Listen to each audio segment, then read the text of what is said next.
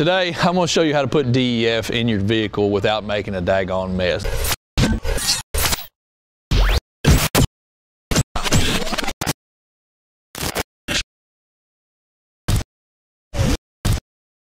Jugs that the DEF come in, they're crap. The spouts are junk and the whole thing is just it's just not it's just not very very user friendly all right so what i'm going to do is i'm going to show you how to set the jug up to try to make it a little bit easier for you getting the fluid in there. So hopefully you don't spill it because it makes a mess. It crystallizes on everything blah blah blah.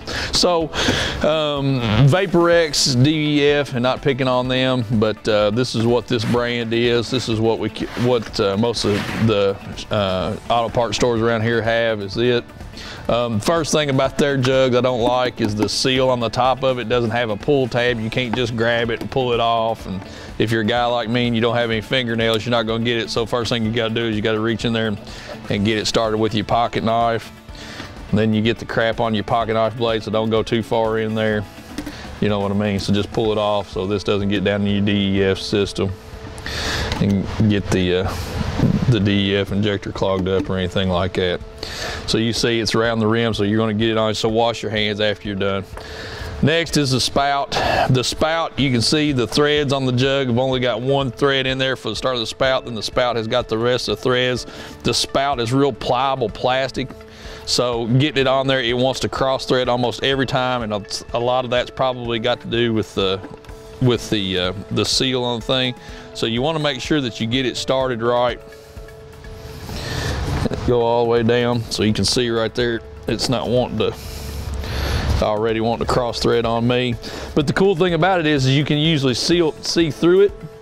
You can see the separation between the jug and the spout there. And once you know that they've made contact, you can go ahead and take it all the way down. Now I think the most important part to this is when you tighten it down, this rubber portion on these spouts, this is the air uh, relief for the jug.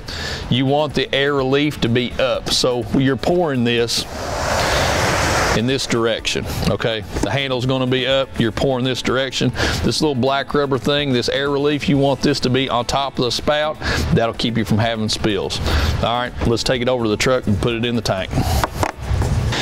All right, come over to your DEF tank and go ahead and take your cap off. You can see last person that filled this one up, there's already a little bit of spillage that's right there, and that comes from the cap too, so um, just, just not very user friendly. So on your jug, before I go into the spout, I put my arm on the bottom of the jug like that, and I cradle the jug. Then I'll go ahead and start the end of the spout in there because this is flexible anyway.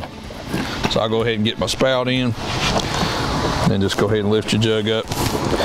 Easy. Just let her flow. You can hear the air gurgling out of that, just like filling up any tank. This is a really easy way to do it, but sometimes things like that, like that air spout on that tube, people take that for granted, don't really know what it is, whatever the case may be. Then you've got them spilling DEF fluid and whatnot. So we'll fill this up show you on the spout and when we when we get out here to make sure that you get it all out of there without getting any residual around the cap here.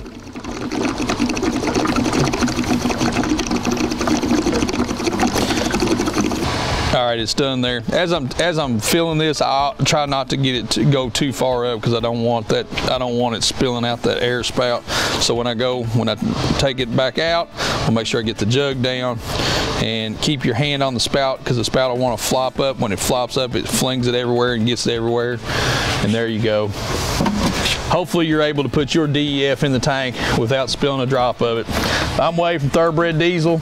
It's silly stuff like this that sometimes you overlook and it's a hassle for you all the time. Hopefully that made it a little bit easier. Like and subscribe to our channel. If you have any questions, give us a call. Thank you.